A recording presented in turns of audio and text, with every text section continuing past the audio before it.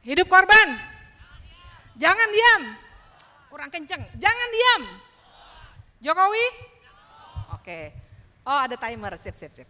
Oke, uh, saya maju sedikit ya teman-teman. Nama saya Bivitri Susanti dari Sekolah Tinggi Hukum Indonesia Jentera.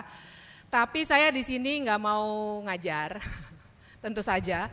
Saya ingin ngajak teman-teman berefleksi. Dan sebenarnya lagu yang tadi disampaikan di depan, dinyanyikan di depan, itu mengingatkan atau pengantar refleksi yang baik sekali. Tadi teman-teman dengar gak sih uh, liriknya kayak apa? Kata-katanya tadi gimana kira-kira? Kata-katanya tadi gimana kira-kira? Tentang kita semuanya dikasih janji terus-menerus. Dan uh, saya mau mengajak teman-teman untuk merefleksikan kembali. 16 tahun aksi Kamisan, 760 kali kita ada di sini. 16 tahun, berarti dua presiden, empat masa pemerintahan. Tapi korban sudah dapat apa? Korban sudah dapat apa? Kita jangan bicara soal penguasa sudah dapat apa, karena penguasa sudah menang banyak. Kenapa saya bilang menang banyak?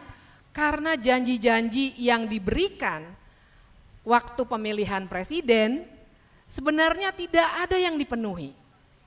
Pengusaha atau penguasa sama aja sih penguasa sama pengusaha, saya nggak salah ngomong juga.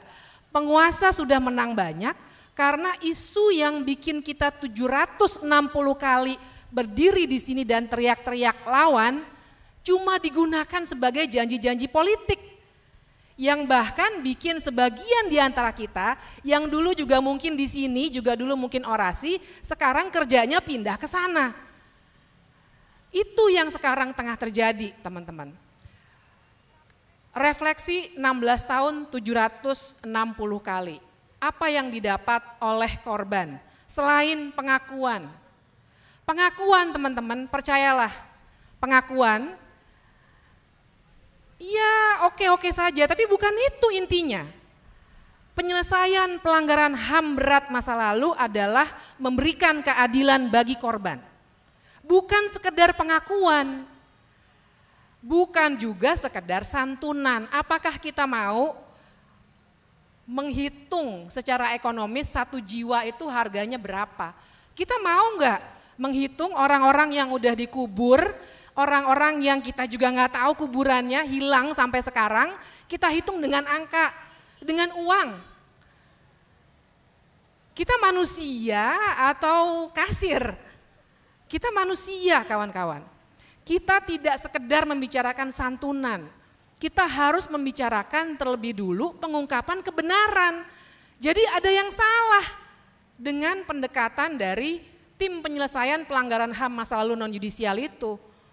Karena yang kita cari di sini yang harusnya dibongkar terlebih dahulu non yudisial apalagi yudisial adalah kebenarannya dulu diluruskan.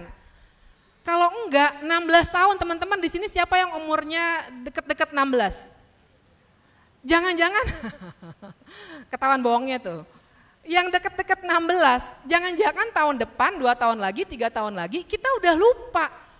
Kalau buku sejarah kita enggak pernah diubah, untuk membicarakan apa yang sebenarnya terjadi tahun 65, apa yang terjadi di Tanjung Priok, apa yang terjadi di Lampung, apa yang terjadi dengan Petrus dan lain sebagainya.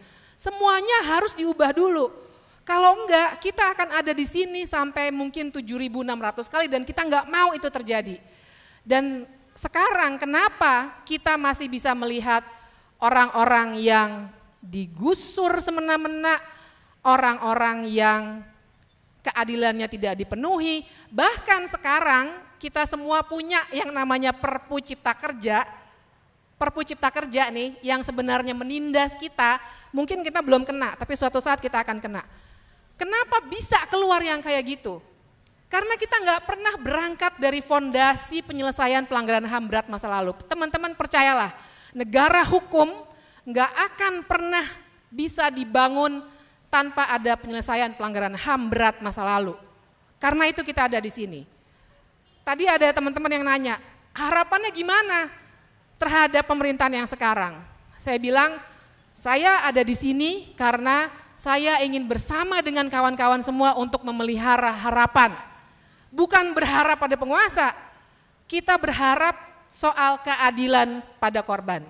Jadi teman-teman, hidup korban. Jangan diam. Makasih.